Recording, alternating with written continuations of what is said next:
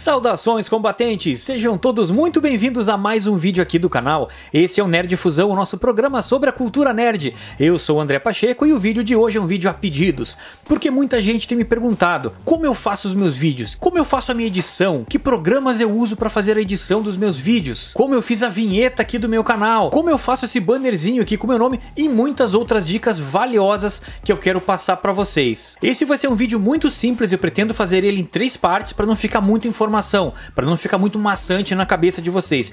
Então se você ainda não tem um canal, você vai conseguir criar um canal do zero mil vezes melhor de quando eu comecei aqui no YouTube. E se você já tem um canal, eu tenho certeza que alguma dessas dicas aqui você pode também aplicar no seu canal. Uhul! Hoje tem muitos cursos por aí ensinando YouTube, ensinando algoritmo, ensinando como emplacar o canal no YouTube. Galera, e vocês não vão gastar menos do que mil reais nesses cursos. O mais barato que eu vi estava 900 250 reais, galera. E eu prometo que nesse vídeo eu vou entregar tudo de graça para vocês. E por que que eu tô fazendo isso de graça, galera? Primeiro, porque quando eu comecei eu não tive o apoio de ninguém.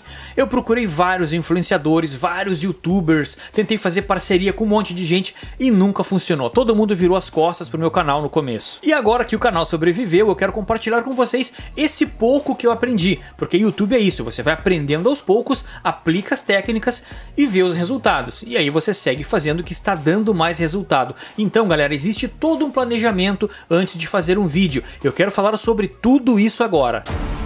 Ah, então quer dizer que está no ar mais um Nerd Fusão. Nesse caso, vamos assistir. O primeiro ponto é como filmar. Para começar no seu canal, você não é obrigado a ter uma câmera profissional, iluminação profissional, nem microfones caríssimos. Essa primeira dica serve tanto para o seu celular como para sua câmera. Tá bom. A primeira coisa é o enquadramento e a sua posição frente à câmera. Poucas pessoas pensam nisso antes de começar o canal e comigo não foi diferente. Eu simplesmente ligava a câmera de qualquer jeito, aparecia bem pequeno num canto da tela e ficava uma parede imensa à mostra que não servia para nada nada no vídeo. E essa lição eu aprendi do pior jeito possível, que foi com comentários ofensivos nos comentários do meu vídeo. Pessoas comentaram, eu não tô aqui para ver a parede da sua casa, eu não tô aqui para ver você escondido na tela, eu não tô aqui para ver você envergonhado, eu não quero ver o forro da sua casa, você tá quase saindo da tela, você tá escondido. E as pessoas querem que você entregue o que você prometeu no título do seu vídeo. Então você precisa estar muito imponente na tela e falando diretamente com as pessoas. E a primeira dica é muito simples, galera. Fique centralizado no meio da sua câmera, faça um jogo da velha imaginário na sua tela e procure deixar a linha superior sobre os seus olhos. Com isso, você vai deixar um recuo de segurança na parte de cima da tela e você vai ficar muito bem enquadrado. Com essa dica, você também consegue fazer tipo os jogos de câmera que eu faço aqui. Você pode perceber que em alguns momentos eu apareço um pouco maior na tela, em outras vezes menor. E isso eu faço por um motivo muito simples. Cada vez que eu erro alguma frase, ou eu preciso cortar uma respiração, ou algum momento de reflexão que eu estou pensando que eu vou falar, eu faço um corte no vídeo. E entre esses cortes, eu coloco um pequeno pequeno zoom na tela, então dá essa sensação de que tem duas câmeras e um jogo de câmera, então eu escondo o meu erro através de uma coisa mais dinâmica e quase ninguém percebe. Ah, agora eu entendi! Então cada vez que você ver eu fazer esse tipo de movimento na tela, é porque eu estou cortando as respirações ou algum erro que eu cometi durante a minha fala. É ou não é uma dica sensacional e você já pode aplicar isso agora no seu canal? Então, já senta o dedo no like nesse vídeo, se você não conhecia o canal, já se inscreve aqui no canal para garantir que o YouTube continue impulsionando o nosso vídeo de forma orgânica e torne o nosso conteúdo relevante. Se liga só no que eu acabei de fazer agora. Eu acabei de chamar vocês para se inscreverem no canal, para curtirem o vídeo de uma forma muito natural, no momento de entusiasmo do vídeo. No momento que eu entreguei uma dica preciosa para vocês, eu pedi um retorno e a tendência é que as pessoas reajam, que realmente curtam o vídeo e se inscrevam no canal. É bem mais fácil eu fazer dessa forma do que eu ficar mendigando like no começo do vídeo, sem que as pessoas saibam se eu vou entregar o que eu me proponho ou não. Então essa é uma outra dica valiosa que eu dou para vocês. Outra dica muito importante é a posição, a altura da sua câmera. Procure deixar sempre na altura dos seus olhos ou um pouquinho acima. Se você deixar a câmera muito baixo, Os espectadores, ao invés de ficarem olhando dentro do seu olho, eles vão olhar para o buraco do seu nariz. E eu já ouvi esse tipo de comentário nos meus vídeos, e imediatamente eu tive que corrigir esse posicionamento da minha câmera. E realmente é um pouco desconfortável ficar olhando dentro do nariz, né mano? Outra coisa importante é o cenário, galera. Mas calma, você não precisa ter um cenário ultra mega power, cheio de LED, cheio de estátuas caras, não. Você pode fazer o vídeo até do quarto, e eu faço muito isso quando estou viajando. Faço vídeo do quarto do hotel. Mas tem algumas dicas que eu dou sobre isso. Prestem atenção nesse exemplo aqui. No canto da tela tem algumas roupas ali que não fazem diferença nenhuma pro vídeo. Então, galera, dê uma conferida no cenário. Se tiver alguma roupa aparecendo, tire fora. Se tiver alguma coisa com defeito na parede, direcione a câmera de forma que não apareça. Se conseguir, dê aquela velha embaçada no fundo, isso ajuda bastante também, traz sempre um resultado melhor.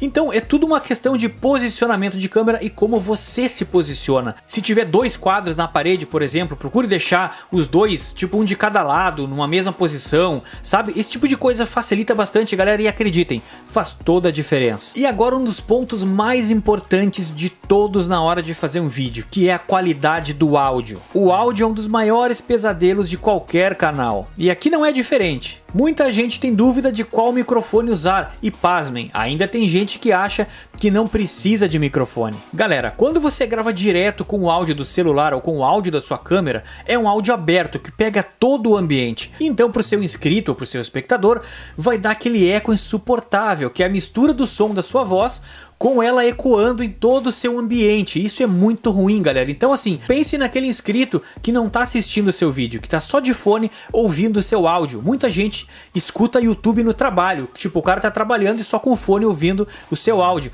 Mano, esse cara vai achar que você tá no banheiro, você tá numa caverna. Então, galera, microfone é fundamental. E não precisa ser um microfone top das galáxias. Até o próprio microfone que acompanha o seu celular já quebra o galho e vai lhe dar um resultado bem melhor. Nos comentários dos meus vídeos mais antigos, tem vários comentários tipo, cara, seu som tá uma bosta, tá gravando dentro do banheiro, tá dentro de uma caverna, tá insuportável.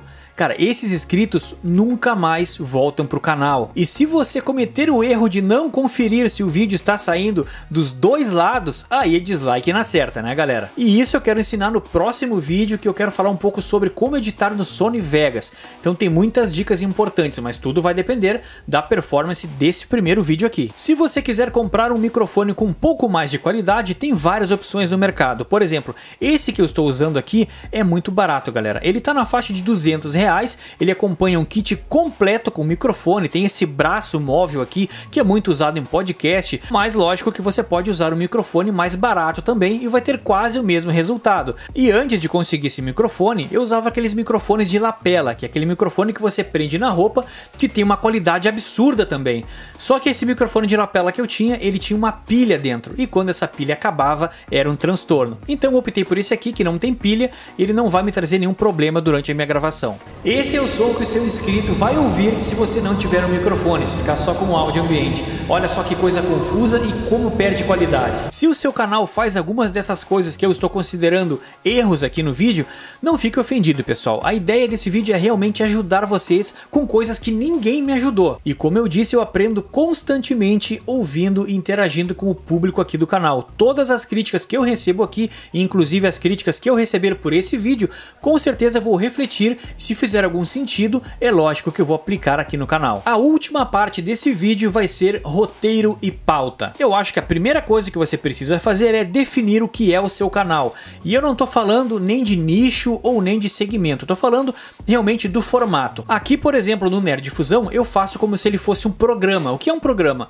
É como se fosse um programa de TV. Ele tem uma introdução, tem uma vinheta e aí eu apresento o meu conteúdo de forma roteirizada, ou seja, tudo que eu estou falando aqui para vocês está escrito em algum lugar. Só que uma das coisas que você tem obrigação de fazer é fazer com que o seu inscrito não perceba que você está lendo. Porque com certeza, galera, se você conseguir se conectar com o espectador, ele vai lhe olhar nos olhos. E é nítido quando a pessoa tá lendo, o olho faz movimento, a pessoa fica olhando para os lados e dá para ver isso. E isso não gera credibilidade, parece que você não domina o assunto. E quando eu fazia isso aqui no meu canal, alguém comentava: "Puta, esse cara não manja nada do assunto, esse cara tá lendo". E o inscrito se incomoda com isso. E como é que eu resolvi isso? Eu simplesmente passei a roteirizar os meus vídeos e eu começo a decorar até um limite. Tudo que eu consigo decorar do meu roteiro, eu falo. Quando eu vejo que eu não consigo mais, eu simplesmente paro. Depois eu leio mais uma parte e continuo gravando.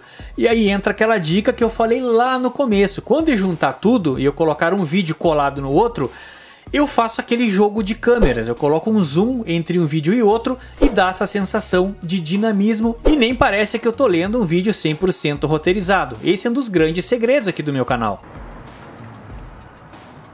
E somado a isso, uma coisa muito importante e fez toda a diferença no meu canal é a energia que você passa quando você está apresentando. No começo do canal, eu fazia vídeos assim, ó.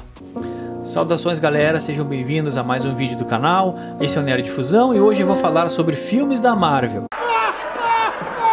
Eu sei que a câmera intimida, quando a gente coloca para gravar começa a dar um nervosismo, mas a gente precisa se soltar. E qual é a dica que eu dou? Cara, fala com a câmera com, com o mesmo entusiasmo como se estivesse falando com os amigos. Sempre vai dar certo. Porque isso gera credibilidade, engajamento. E se você não tiver uma energia positiva para isso, você não vai ter a troca, não vai rolar aquela empatia da galera se identificando com a sua fala. E eu procuro sempre falar entusiasmado como se eu estivesse falando realmente sobre os filmes com os meus amigos. É assim que eu falo, quem me conhece sabe. E outra coisa importante que pode ajudar na performance do seu vídeo, coloca uma música bem baixinha no fundo, uma música inspirada, uma música bem agradável, com certeza você vai ter um resultado muito melhor. Então você não precisa ser uma caricatura, uma coisa fake, um palhação na tela. Não, basta que você seja você mesmo e fique à vontade falando com a câmera. Pense que a câmera é seu amigo, é isso, esse é o segredo. E essa sensação de nervosismo e falta de empatia pode fazer com que o inscrito não volte mais para o seu canal. Ele vai buscar a informação que ele precisa, por exemplo, se o seu canal é de tutoriais, ele vai ver uma vez o tutorial e não volta mais. Agora, se o cara achar interessante o que você está falando, com certeza ele vai se inscrever no canal para continuar recebendo as suas dicas. E você que está criando o canal agora, viu como não é só ligar a câmera e gravar? Existe uma estratégia por trás. E é tudo isso que eu pretendo fazer nesse novo quadro aqui do canal para vocês. E se vocês estão assistindo esse vídeo até agora, isso significa que todas as dicas e tudo que eu falei até agora realmente funciona, porque vocês ainda estão aqui interagindo comigo. E em breve o segundo vídeo desse quadro, que são coisas muito mais importantes, que é como indexar o seu vídeo no algoritmo do YouTube, que a gente faz isso através do título, da thumb, da descrição e das tags do seu vídeo.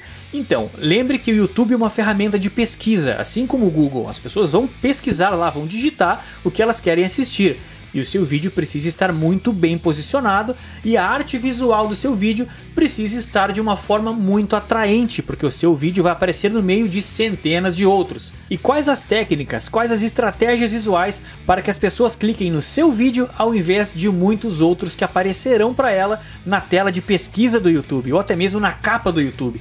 Isso eu vou falar no próximo vídeo. Eu espero que vocês tenham gostado dessas dicas, que elas sejam muito úteis para o seu canal. Por enquanto é isso, eu vou ficando por aqui. Um abraço a todos e até a próxima, pessoal.